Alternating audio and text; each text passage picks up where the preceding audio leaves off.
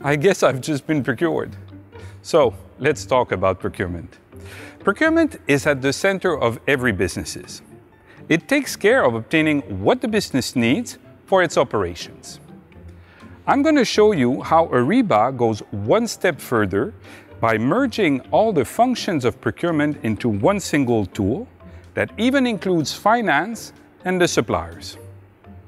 So let's start this journey with a concrete example. Peter, our security officer, will be needing first aid kits.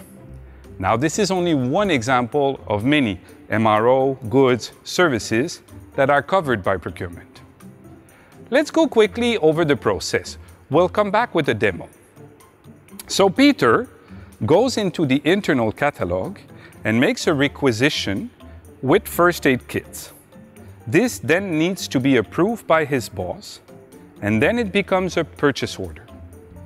For the sake of simplicity, when you see blue, it's related to the buying process.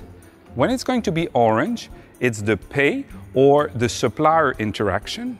And later, when we're going to look at green, it will be the planning phase.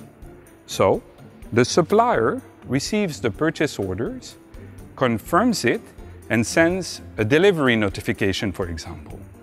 At that point, Peter receives the good into the system so that when the supplier sends an invoice, it can be matched with the purchase order and with the receipt for good compliance, and it's ready to be paid. Now, this was part two of the procurement process. It was the operational part. Now, where do you think this first aid kit came from in the first place? Well, it came from a contract. And this contract was negotiated with many suppliers that were pre qualified, registered, and some of them were even discovered in emerging markets, for example. And all of this is based on the procurement planning that you did in the beginning of the year, based on your spend analytics. So you see now in green how the planning phase gets then executed during the buying process all the way up to the supplier that sends an invoice. So what gets paid is what was negotiated and what gets planned gets executed.